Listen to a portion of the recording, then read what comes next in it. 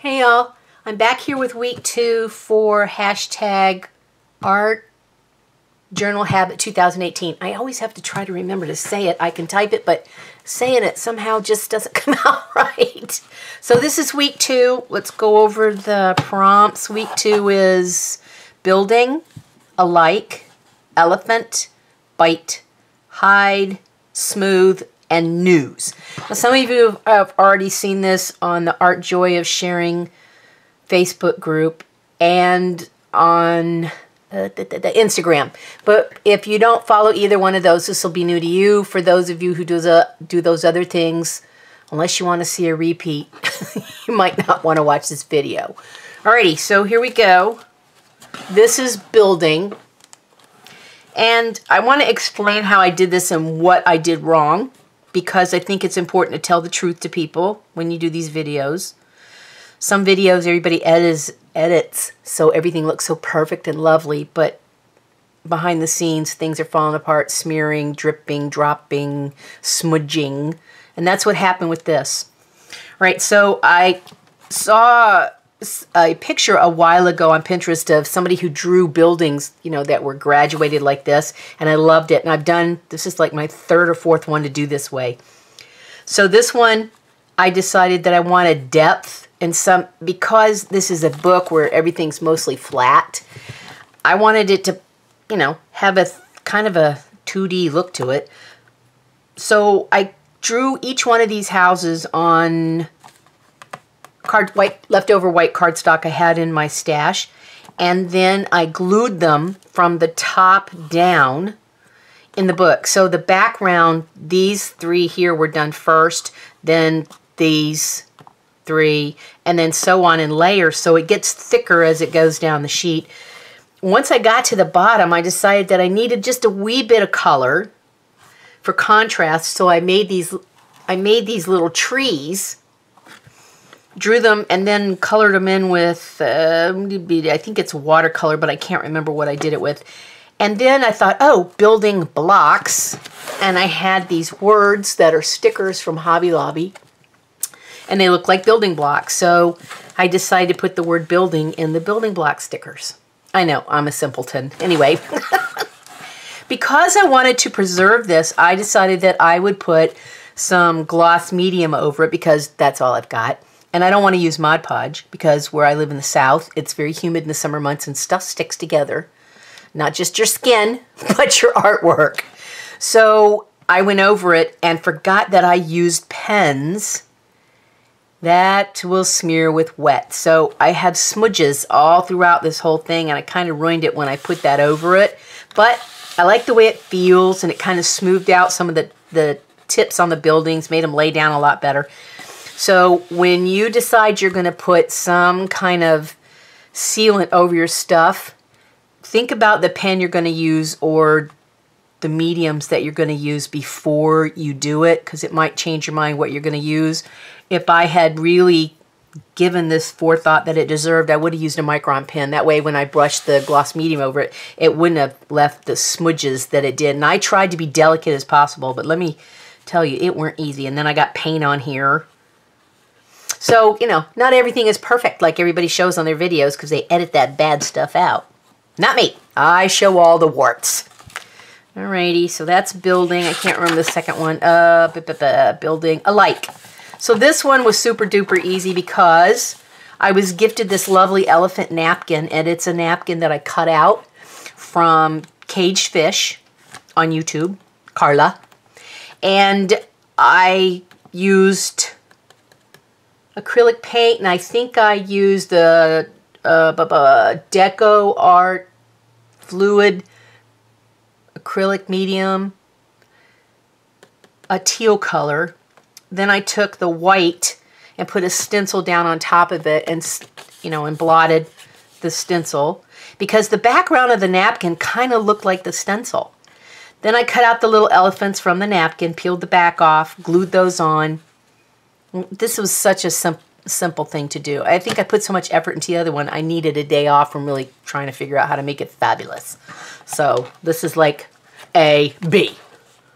All right, and then I had stickers and I used the word alike. I think I should have used a solid color, you know, so you can read the, the word a little bit better. It's kind of hard to see it. Even, even up close, it's a little hard. The yellow letter, maybe I should have made it a different color. Anyway, this was easy and I was glad because after doing all these other things, I think I was a little exhausted mentally. The next one is bite. Uh, no. The next one is what? Elephant. All right, so I have two pages in a row about elephants. Again, I was gifted some of these elephant, this was a, a magazine page that was sent to me and then little pictures of elephants. I cut out as many as I could. I didn't have enough to finish up here, so to take away from the fact that there's no background on it, I just took stickers and did them across his head and outlined them in black. I like this one because I like this part because I think it's something different. It was easy, and I was happy about the easy part. All right, elephant bite. So this is bite.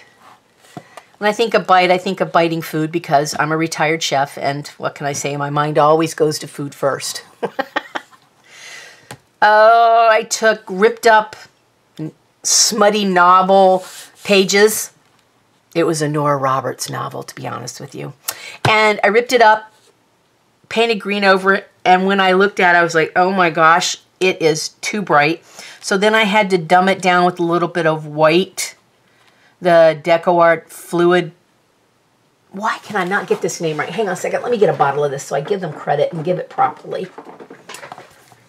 It's the DecoArt Media Fluid Acrylics, and I did it in white to cover up the fact that uh, the green that I had used was overwhelming.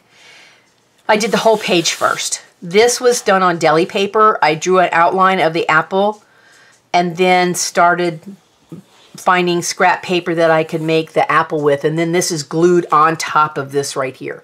I learned this trick from something that Shell C from Art Joy of Sharing mentioned in passing I believe at um, the art retreat we were at. And then down here is the word bite.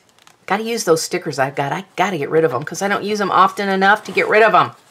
All right, so we did bite. Bite, bite, bite, bite. Hide. This one was a challenge. I am not a sketch or drawer person.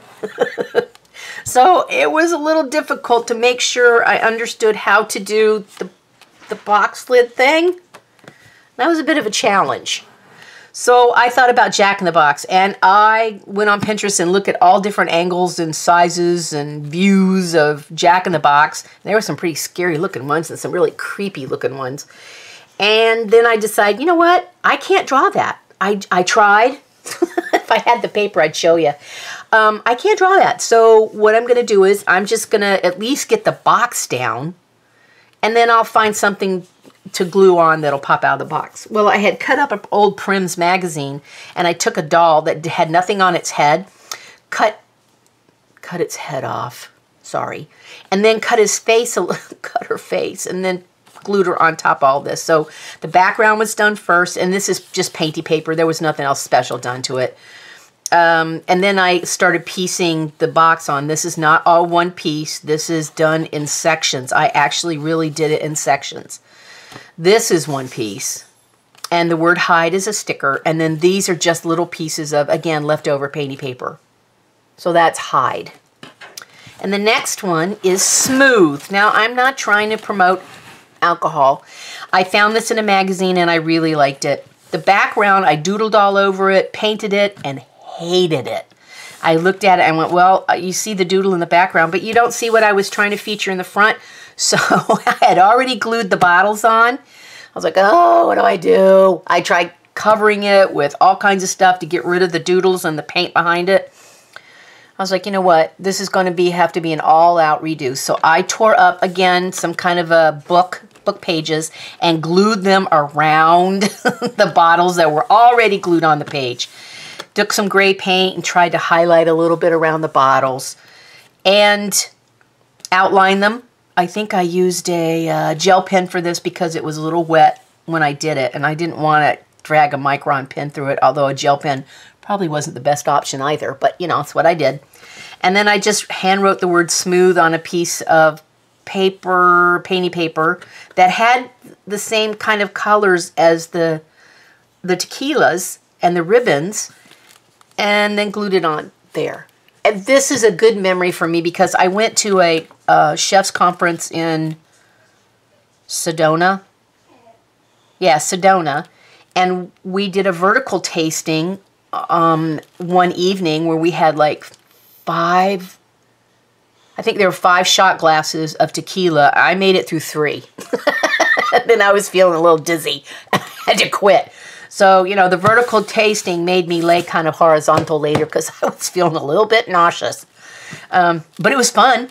And I really liked how smooth, as you tasted the different glasses, the tequila got smoother. You didn't need the, the lemon or the lime, and you didn't need the salt. They were very smooth on the way down. And also, if they're very cold, they were a lot nicer when they were cold, very cold. I really enjoyed the tasting. I thought it was very interesting. So there's that one. And then today, or last night, no, today I posted this one. This is day 14, is about news. Now, this looks terribly chaotic, and I did it that way on purpose. I know you can't believe that. Um, this is Tim Holtz paper on the bottom that had a lot of, uh, it was about travel and that kind of stuff. And so I glued that on the page. Then I had some envelopes that I put postmarks on and that kind of stuff. Cut those out. Found a map of the United States. This is from Wells Fargo Bank. It's a bunch of horses on a stagecoach, which that's the way mail used to be delivered back in the day. An airplane. We get airmail from that. And so there's the U.S. airmail. Telegrams. News came from that way. Uh, let's see what else was on here. I could not find a phone. Oh, TV, and radio. I could not find a phone, and I thought, you know what? I think there's so much stuff on here, it won't matter the phone's not on there. But the point of the news was news travels fast, whether it's good or bad. News get around. I need, like, what's her name? Mrs. Kravitz. Those of you who are my age, you'll know who she is. We needed a Mrs. Kravitz head on here because she sure knew all the news in the neighborhood on the TV show Bewitched. All right, so that's my um, second week, my week two of the Art Journal Habit. Can you see that with the glare? Art Journal Habit 2018. I will be back next week with week three. I'm doing it every day, and I can't believe I've made it this far. I, today's is a little, let's see, what's today? Today's is North. Uh oh, I don't know if I'm going to make it through North, but we'll see how it goes. All right, everybody. If you like to look to see what everybody else is doing, use hashtag Art Journal Habit 2018 and you can find a whole array of stuff on Instagram. Sorry, the dog has to go out. All right, so this is it for me. See you guys next week. Bye.